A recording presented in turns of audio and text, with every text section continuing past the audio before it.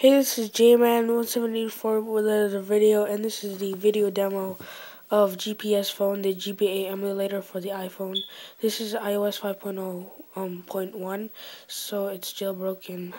So here it is. We're gonna go to settings. I'm gonna show you the firmware.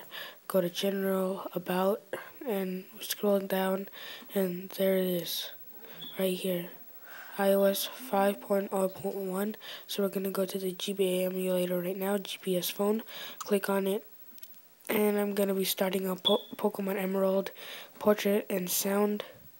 So yes it does work as you can see but no sounds because I'm kind of recording off here. So yeah it's a new game. I haven't started it yet and there's Professor Birch gonna pop out right about now. So it does work and I'm just gonna go back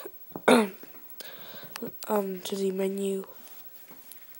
And don't save right now. And I have all these games right here. And you could download them off Cydia. So yeah and there's lots of settings. That's pretty much it for this video. Thanks for watching. Watch my other videos. Like them. And don't forget to please subscribe. Bye